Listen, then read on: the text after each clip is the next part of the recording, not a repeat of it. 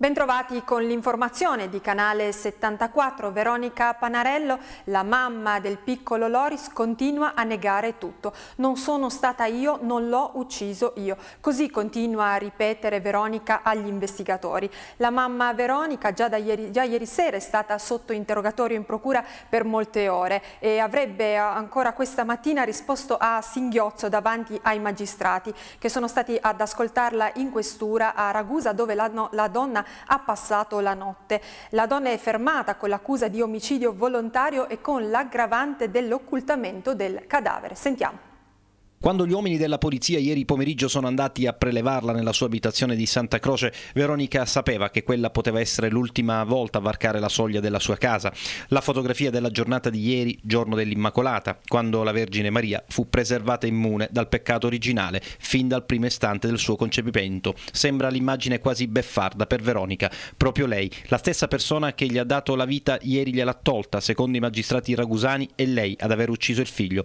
La madre che uccide un figlio troppe incongruenze però, troppi punti oscuri, troppe contraddizioni. Nelle sei ore di interrogatorio di stanotte Veronica non ha parlato molto. Secondo fonti investigative ha provato a chiarire alcuni passaggi chiave, poi tanti silenzi, tanti non ricordo, pianti prima di essere ricondotta in una camera di sicurezza della questura, guardata a vista. Stamattina altro interrogatorio alla presenza dell'avvocato.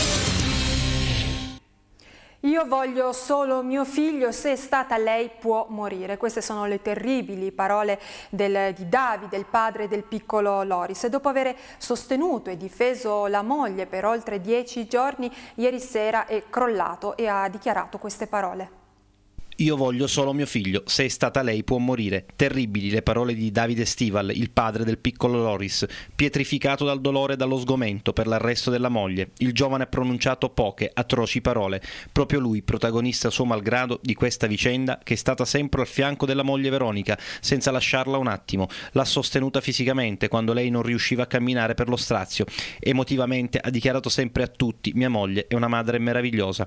Davide Stival, 29 anni, camionista al nord Italia, Italia aveva appreso della morte del figlio proprio da Facebook. Nessuno in famiglia aveva avuto il coraggio di chiamarlo. Chi lo conosce sa quanto gli sia caro quel figlio, sa quanti messaggini si scambiavano mentre lui era lontano, quanti pensieri, quanti abbracci. Un padre giovane che nonostante il grande peso del terribile lutto subito ha sempre difeso la madre di suo figlio, fino a ieri sera, dopo l'arresto di Veronica è crollato. Deve dirmi solo il perché e poi per me può morire. Io voglio solo mio figlio. E ora cambiamo argomento, dona 3 milioni di euro del suo patrimonio a favore dei disabili, una bella storia che viene da Pozzallo. La generosità esiste ancora. Giovanni Ciurciù di Pozzallo metterà il suo patrimonio al servizio di una causa nobile. Il cittadino pozzallese ha dato vita con la donazione di 3 milioni di euro alla Fondazione Yolanda e Francesco Ciurciù dai nomi dei suoi figli. È nell'ambito di questa iniziativa che verrà restaurata la struttura dell'ex colonia marina che, augura il generoso cittadino, otterrà le migliori attenzioni da parte della comunità e delle istituzioni della sua città. Sarà una struttura che si occuperà interamente di dare sostegno alle famiglie con disabili a carico. Giovedì sera, sulla nostra rete, andrà in onda la conferenza stampa integrale della presentazione del progetto. Per il momento ascoltiamo alcune parole di un cittadino molto generoso. Oggi noi eh, abbiamo una grossa preoccupazione. La sera quando mi corico dico e se non mi sveglio che ne sarà di mio figlio? Per cui tutti questi problemi mi hanno portato proprio alla realizzazione di questa fondazione a cui sto dando tutti i miei beni per far crescere in primo momento quello che è la cultura della disabilità, e ora ci occupiamo di immigrazione, a Pozzallo solo le briciole. Alla cittadina vanno 500 mila euro del fondo di 20 milioni stanziato dal Ministero per i comuni che hanno fronteggiato il problema dell'immigrazione. 20 milioni di euro stanziati grazie ad un decreto, un indennizzo indirizzato ai comuni siciliani che hanno affrontato in prima linea l'emergenza immigrazione. I comuni siciliani interessati sono 13, ragion per cui sarebbe opportuno pensare ad una ripartizione equa di questi fondi. Fra queste città figura anche Pozzallo, a cui è stato destinato mezzo milione di euro. L'aveva pure comunicato con un comunicato stampa l'onorevole Minardo, rimarcando l'attenzione che il ministro Angelino Alfano aveva riversato su Pozzallo. Ma se gli abitanti della cittadina portuale Iblea pensano di avere 500.000 ragioni per festeggiare, forse dovrebbero chiedersi quali sono stati i criteri di scelta per la ripartizione di questi soldi. In un paragone con le altre 13 città, il dato che ci fa riflettere di più riguarda la città di Augusta. Per il porto ionico sono pronti più di 2 milioni di euro. Volendo essere leggermente provocatori, non era il caso di dimostrarsi un po' più grati verso una città che rischia di convertirsi nella nuova Lampedusa? E Ciocomodica nella cittadina della Contea, finita la festa, restano i conti. Passata la festa di Ciocomodica, restano ora i conti da pagare.